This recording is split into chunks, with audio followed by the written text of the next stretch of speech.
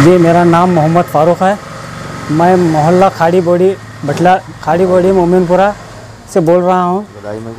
गदाई मस्जिद। के बिल्कुल सामने एक मकान जिसमें मेरे चाचा और फुप्पू और उनके दो बच्चियाँ और एक उनका बेटा रहता है।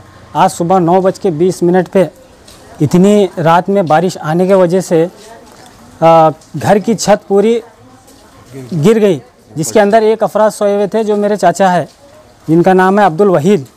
और उनको इतने इंजॉयड आ गए हैं, उनके दिमाग में मार लगा है। मनूर हॉस्पिटल में उनको फौरी एडमिट किए हैं।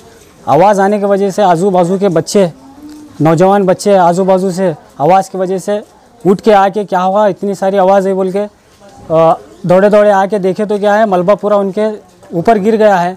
तो बच्चे फटाफट फटाफट आके ये बच्चा है और वो बच्चा है। आप इधर आइए।